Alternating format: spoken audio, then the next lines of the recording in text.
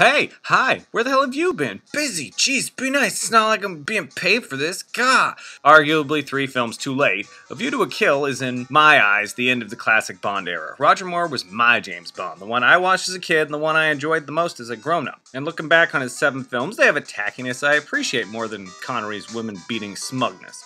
A View to a Kill is not a great send-off, but it's undeniably still feels like a Bond film even if Roger Moore's looking winded and the action is at a man with the golden gun low. Into the Met opening! Bond finds another dead 00 in Russian snowland and plucks a microchip off his corpse. The opening suffers first and foremost from being stuff we've really seen before, like twice now. And better. And right out the gate, Moore is just super silly old. And I'll at least credit A View to Kill with putting the insufferable part right at the beginning. As much as I love Roger Moore, his films often have that moment that just fucking kills me. The slide whistle on the man with the golden gun, the double taking pigeon in Moonraker, the Tarzan yelling octopus, he just brief, horrid moments. A View to the Kill's horrid moment is the use of the Beach Boys in the opening as Bond snowboards on a busted ski of a snowmobile. Of all the above-mentioned moments, I guess this is the least offensive. An iceberg submarine is different, I guess. So is Grandpa making out with a 20-year-old. At least the theme song kicks ass. Like it's the only good one of the 80s. And I don't even give two shits about Duran Duran. And I have terrible music tastes. But it's a kick-ass theme, easily in the top five. Well played, Duran Duran. Only time I'm ever going to say that, ever. And it's, you know, it's super ninja clear that the 80s are happening hard. Damn, Roger, just old, dude. Well, at least, damn, Moneypenny, just old. And M, oh, yeah, that's sad. Well, Q, uh, well, he's always been old, so that's okay. So standard Bond plot intro, hell, just like Man with the Golden Gun. We get to see Q and his new toy, the Snooper, a highly sophisticated piece of surveillance equipment. And honest to goodness, how the hell would something that looks like a sentient peanut butter grinder ever be covert? So, into the plot, with Q talking about silicon integrated circuit. And in the future world of 2013, this 1985 jargon is War Games Tron style adorable. They prattle on about how magnetic pulses from nuclear explosions could fry them and how modern toasters in British defense would be paralyzed. Then Q uses the hilarious micro comparator and reveals that the KGB are getting chips that are impervious to nuclear damage like the British, so a conspiracy is afoot. And the plot is on. The company the British used was acquired by Zorin Industries and Commander Bond is on the case. But not before some good old-fashioned British fucking around. This is all good though, because it's Moneypenny's send-off as Lois Maxwell has passed her prime, even if sexistly, Roger Moore has not. It's cute, and they work in some decent exposition stuff about Zorin. Damn, Christopher Walken! Actually, you look youthful and Oscar-worthy. Also, we see Mayday, played by Grace Jones. Then Patrick Macnee, fucking, what's his name, from the Avengers? That's cool, right? Shows he, he's he's uh, oh he's there and oh all is right in the world. He's Sir Godfrey Tippett, horse trainer and agent, I guess. Whatever. Bond sets off for Paris to meet a detective on Zorin's case about doping horses, or eh, they don't actually eh, actually he's just trying to figure out why horses win. So anyway, Paris. Let me just check that off of the places for Bond to go list. We'll learn more about Zorin. He's from East Germany, and this guy is French and insufferable because why the hell not? British people are making this movie. They don't like the French. And of course, saw that coming. He's killed by butterflies. Wait, what? Fine. A chase ensues, and up the Eiffel Tower we go. Elaborate stunts are the name of this game. This one is admittedly cool, even if you can see the little diving board she leapt off of. This leads into an improbable but nifty car chase through the streets of Paris. Good stunts, and though half a car is kinda goofy, it still was staged and well and it is pretty engaging. Off to Zorin's estate for standard Bond party with the villain antics, but this time with Patrick Macnee in tow. I, I just like Bond's alias of St. John Smythe. I use it sometimes. You know, on, on porn forums for weird things with animal. No. So, uh, horses, not not much of a fan. This party is all very, eh, just sort of long and slow. It's it's all stuff we've seen before, and there's just there's ain't much to differentiate it. Some good stuff with Tippett though, and Moore and Macnee play well off of each other. There's this fun little bit. Tippett pretends to be his driver, and while he's carrying all his luggage, Bond offers to help him and only grabs the umbrella because it's Patrick Macnee from the Avengers. I wish I could recall his character's name, and I'm not recording this where I have the internet, so sh shut up. Uh, Emma Peel? Ah, uh, whatever. Seriously, buddy cop movie with these two, you know, just just palling around, and I'm so crazy down with that. We get a bit more time with Zorin, his stuffy party, meet Dr. Evil McMonagle, who's totally not a Nazi, and finally meet Stacy Sutton, played by Tanya Roberts. So they don't say her name yet. She often gets flack for being one of the worst Bond girls, and sure, within one line, you're sure she ain't fucking Olivier, but seriously, she's no worse than any other Bond girl up to this point. Then Granddad starts forgetting where he is and starts hitting on his niece. The whole scene is weird because Moore's voice is soft and hushed. Stacy blows him off, which I think is supposed to convey that she's a strong-willed, independent woman in the 80s, but it just comes off like she's barely humoring a very nice but kind of creepy older fella. I love you, Raj. So some horse conspiracy stuff with microchips and Mayday forgetting and then remembering who Bond is in like this ridiculously convenient way. Bond being in her bed is pretty damn clever. There's this really bizarre cut when Mayday gets in the bed, like right when she gets in, like they cut to, to, to a different take. I don't really get that. It's right there before the good times, fun, sexy times, you know, times. Go, Raj, go. Zorin figures out who Bond is using his future computer, technology. Zorin plans to kill Bond with horsey time. Nobody cares. Nice hat. What kind of asshole smokes in a closed phone booth? Jesus. So Mayday kills Tippetts, which, like when Vijay dies in uh, Octopussy, it's really just sad. But she does do it in the car wash, which is, you know, in this nicely framed shot as, as the thing kind of goes over the car, which also means that she was doing her job as Zorin's killer assistant at the car wash, which means that technically she was working at the car wash, which you might never get rich, but it's better than digging a ditch. Working at the car wash, yeah. So horsey kill time, you know, continues, and it's that's different it's not really exciting. There's there's sort of funny horsey traps and horsey fighting and all kinds of excuses to say horsey, but it's also bizarre and illogical. It's like a course set up solely to kill a man on a prized horse. This is one of those just shoot him moments. Or Mayday could have fucked him to death the previous night. He's old. Uh, lots of obvious stunt doubles for old man Moore and lots of shots of walking on an obviously fake horse that moves noticeably slower than the real one does. It's different, like I said, but it's weird at best. Zorin uses his microchip powers to make Bond's horse freak out into the woods, and I actually like that part because it was like horse racing horses in the woods, and Mayday tricks him when she's driving the car, and there's some decent dialogue with Zorin and Bond genuinely looking outsmarted, which I enjoy. They go to dump him in the lake, and he survives cleverly, so so cool. Then, oh fuck yeah, Dolph Lundgren. I mean, General Gogol whom I love, so just happy to see him. Zorin is working for the Russians. Oh, snap! But he's going renegade. Oh, snap! And Dolph Lundgren, oh, snap! Also, he's some sort of biological freak, so, you know, that's cool. They, they kind of mention that. They do a good job doling out information in the movie about what's going on.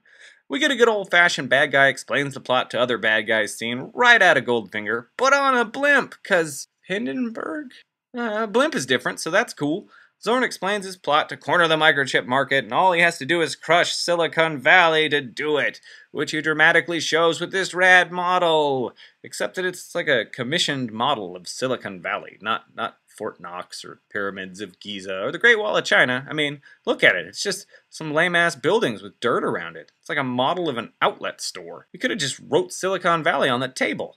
So after one guy opts out and falls to his death, we get to San Francisco, the exotic locale that I totally don't appreciate because I live in Sacramento and I'm like two hours from it. But it's cool, just like with Star Trek 4. So Bond is in San Francisco talking to Chuck Lee, CIA, and he gets his business on. Explains some plot plots, explains that Dr. Mortimer is actually Hans Glaub, German pioneer of steroids and frickin' Nazi experimenter, and who made super babies that went mad. Oh no, Max Zorin! Oh, that's so awesome though. His Nazi-bred supervillain Christopher Walken is really cool. So Bond investigates Zorin's oil refinery and, and so is, you know, like some Russians. Bond sneaks in the valve pipe to this dead end with a propeller of death, and I'm not sure why he did this other than some action. The Russians watching Zorin try to escape, but only the chick does, and this other dude planted a bomb that he could totally use to just kill Zorin right now, but he defuses it so the movie can continue. Zorin kills him terribly, of course. Bond confronts in quotes, the Russian chick. It's good Bond stuff. Then the Russian chick bolts with a cassette she's recorded to a car which very clearly has that man in it, but he must be wearing a disguise,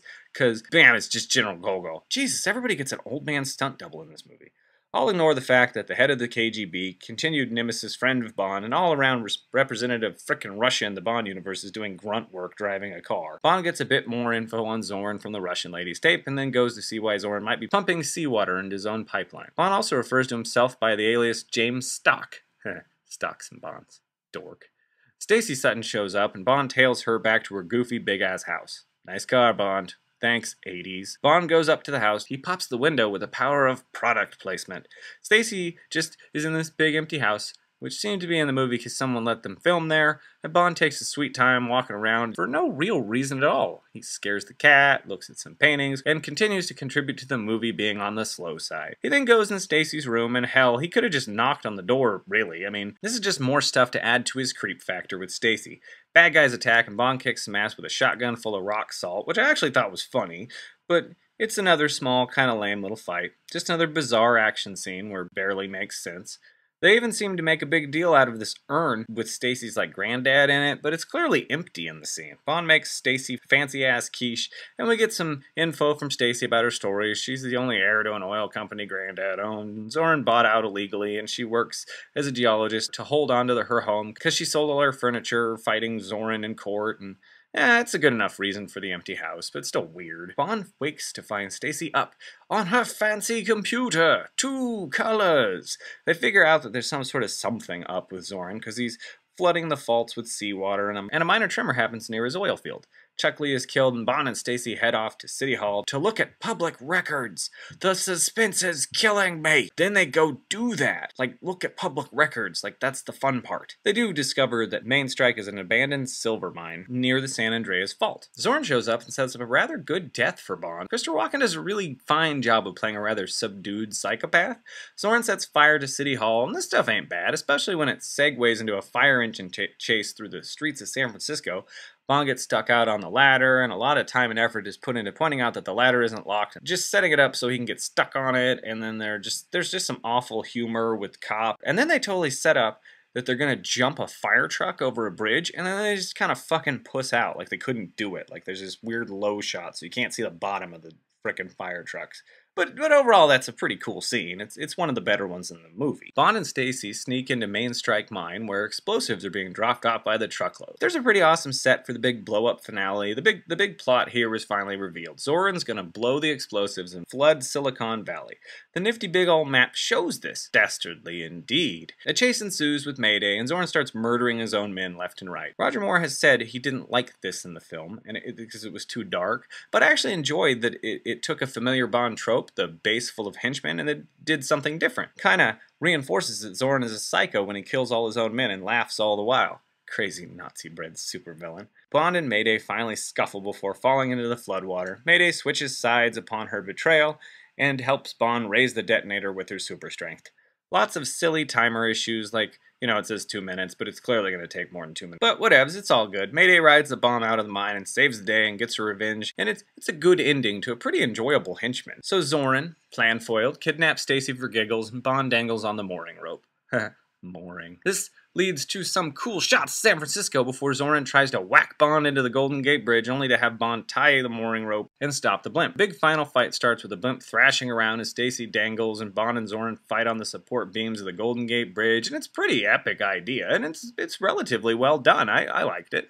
Zorin dies, the blimp blows, Gogol stops by to give Bond the Order of Lenin. Bond is still in San Francisco getting his ending of the film Sex on while Q watches with his robot. And the Roger Moore era of James Bond films ends appropriately silly. So yeah, like heck of a send-off for Moore, right? Am I right? Am I no, no, no. At best, A View to a Kill slightly upstages The Man with the Golden Gun in terms of action and plot, and though some of the minimal action here is a bit forced and the story is one of the most dated in the series, A View to the Kill nonetheless has some good things going for it. First, though tacky and dated, it does have a decently well thought out plot. Yeah, anything with computers in 1985 is going to look silly now, but the whole idea of blowing and flooding a fault line is pretty cool. I'll take this plot over a lot of the later Bond films. And yeah, Moore is old, but Christopher Walken ain't, and neither is Grace Jones. They both kick serious ass in this film. Walken, like Christopher Lee before him, plays Zorin much calmer than one would think, with a hint of insanity just beneath the surface. I liked his creepy laugh, especially when he dies, and how casual he truly seems when killing people. It's a bit dark for a Roger Moore Bond film, but it's different and engaging. That and Nazi-bred megalomaniacal supervillain is just a rad description. Yeah, it's arguably three films too late for Moore. Hell, he started playing Bond when he was 45. He's 57 here, but he's still in okay form, even if he sounds older than dirt, and his grandchildren are as old as Tanya Roberts.